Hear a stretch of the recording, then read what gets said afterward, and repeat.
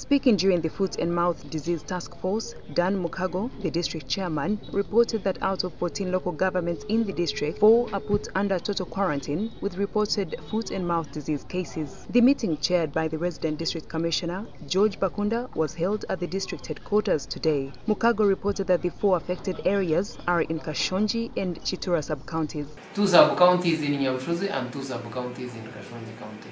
We have we have we have decided that we put total quarantine and then we enforce even on the guidelines and then on the on the measures put in place to curb this disease. George Bakunda, the RDC Kiruhura district, who chaired the task force and security meeting, hailed the government for coming up strongly with guidance to fight the disease. Bakunda urged all residents of Kiruhura and leaders at all levels to speak the same language and vow to deal with all those who will not abide by the set restrictions. He directed all sub-counties to hold similar meetings and fight the disease to the end. FMD is, is a monster, is a disease that affects every mankind in the district because the livelihood of every citizen in the district is derived either from sale of the animal or its products. So when animals are affected by this disease,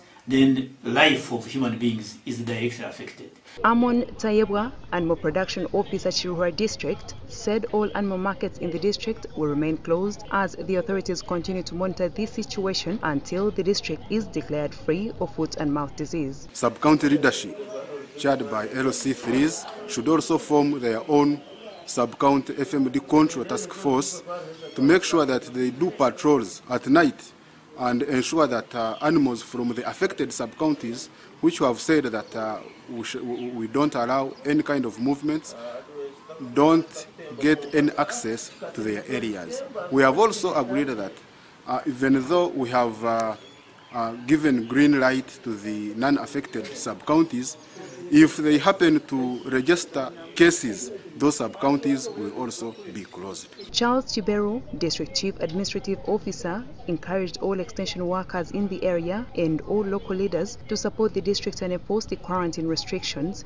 given to the district. We are now trying to make sure that the guidelines which have been given us are followed to the dot and I'm encouraging my extension workers, the vets, to make sure they support the, the local people or the farmers fight this, even the LOC fees and the chiefs, let us make sure that we enforce the quarantine restrictions which have been given to us. Leaders hail the cost-sharing idea which will enable farmers to get vaccines. Safara Mugenyi, Mayor Sanga Town Council, told journalists that this idea will save farmers from high costs of treating animals. It is very expensive to treat a, a, a cow rather than vaccinating it.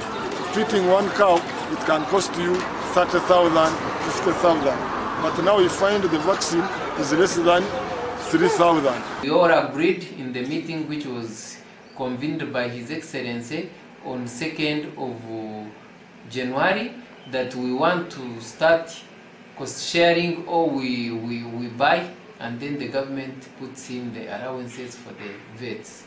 But we will be buying vaccines for our own cattle instead of waiting for the government to import. Story by Abdul Karim Sengendo for the news.